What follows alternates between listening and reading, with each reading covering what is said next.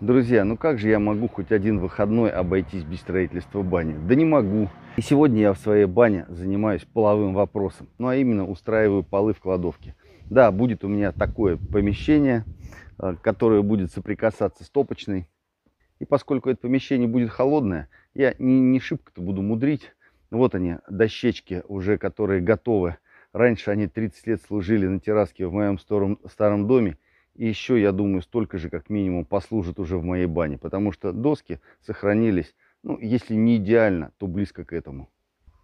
Скажете, почему я решил начать с какой-то там кладовки, а не с бани? Да все очень просто, ребята. Когда я разбирал свой старый дом, то в нем было достаточно большое количество вещей, ну, которые попросту было жалко выкидывать. Например, новая кухня, которую я купил в этот дом совершенно незадолго до его сноса. И вон она, видите, сзади у меня там в беседочке зеленеется. Я ее выкидывать не стал, зная, что я ее размещу как раз-таки вот здесь, вот в своей бане. Это на моя кладовка, которая... Это бывшая комната отдыха в моей старой бане. Ну, Наверное, да, для того, чтобы просто выйти, отдохнуть, полежать на топчанчике и выпить чай из самовара, этого было достаточно в 20 веке. Ну, в 21 веке я решил все переделать. Теперь это будет кладовка.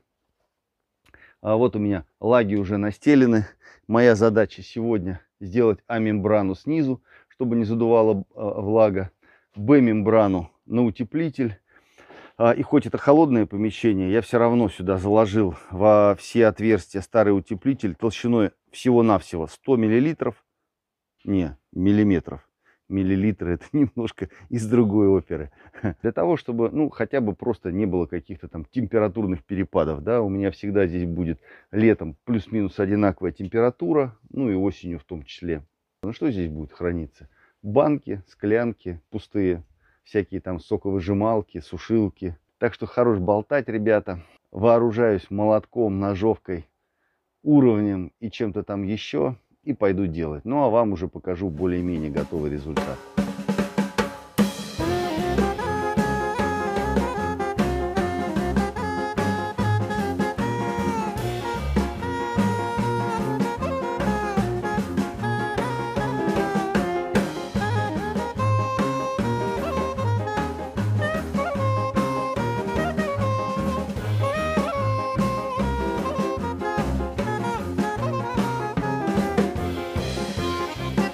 Вот, друзья, первую часть работы я сделал. Сами видите, Б-мембраны, стены обтянуты. Теперь будем делать ветроизоляцию, и она же пароизоляция изнутри. Наверное, какие-то строители профессиональные будут сейчас меня ругать вовсю, скажут, блин, какой-то хренью он занимается. Но я делаю так, как считаю нужным, делаю так, как понимаю все это по законам физики. А, мне важно сейчас защитить а, мое вот это помещение от проникновения влаги извне, то есть со стороны Земли.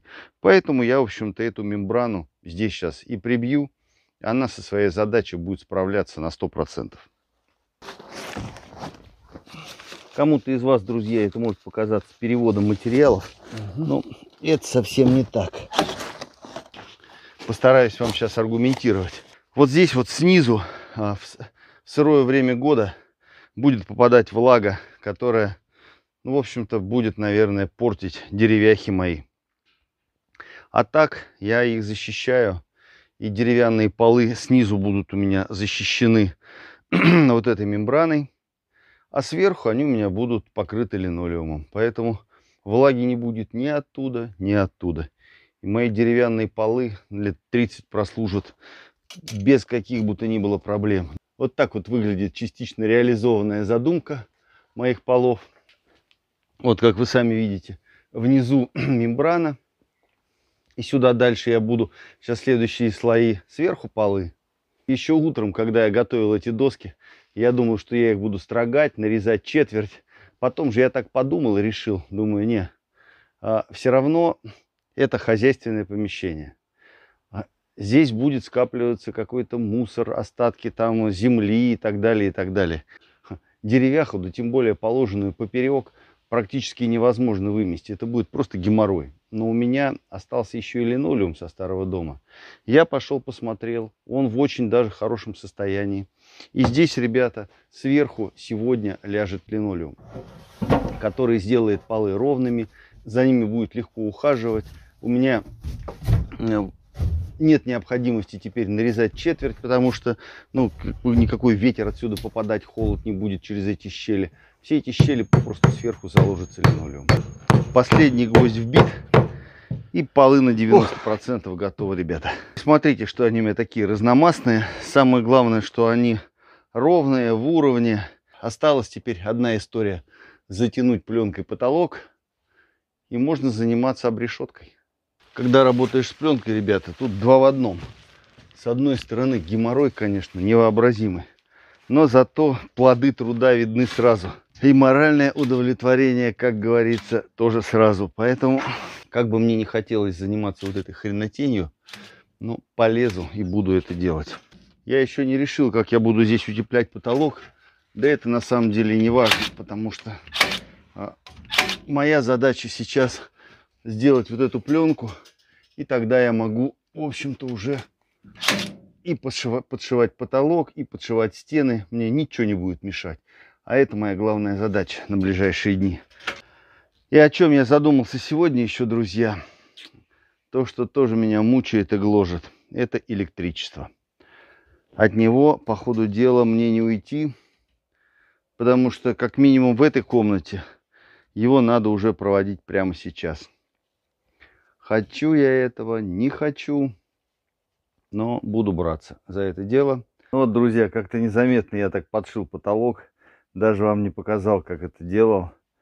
Ну, а что показывать? Вагонка у меня была, потихонечку. Бей да бей. Ну и, в общем-то, и обрешетка а, под э, обшивку стен тоже готова. Так что сейчас готовлю доски. А вот доски, ребята, это уже непростая затея. Потому что, как вы помните, строю я, как говорится, из того, что было.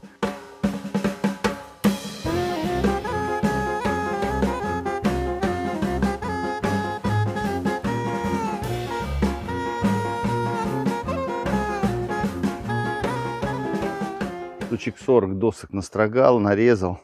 Хочу немножко сменить тему, потому что надоедает делать одно и то же. Сейчас буду фрезеровать паз, ребята. А для того, чтобы не покупать вагонку, ну и чтобы не было щелей, я буду лепить доски одну к одной по технологии в четверть. Вот такая выбирается четверть в одной и во второй. И когда они друг, друг на дружку находят вот так вот, фактически здесь никакой щели не остается.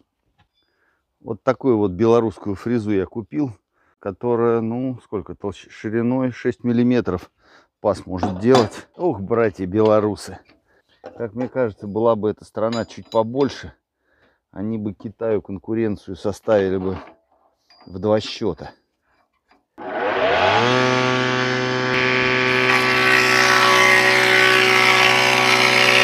ровно половина. Так что сейчас первым заходом все тонкие, потом чуть-чуть увеличим все толстые и в баню прибивать их. Дождь меня прогнал с улицы, так что пришлось заканчивать мое фрезерование, обрезание, строгание и перемещаюсь в кладовку обшивать теми досками, которые я успел наделать. Устраиваемся первой доской по уровню, чтобы у нас не заваливалось ни вправо, ни влево. Ну вот как-то так. Ну вот и прибита последняя доска на сегодня. Все, ребята, доски пока закончились. Надо вновь обрабатывать, строгать, точить, резать, нарезать четверть. По моему мнению, получается очень даже неплохо.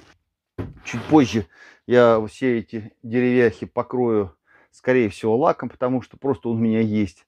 Вот по этой стене и сзади меня здесь будут стеллажи, на которые можно будет ставить банки всякую там мелкую технику, сушилки, соковыжималки, ну, сезонную фигню, которая здесь будет храниться.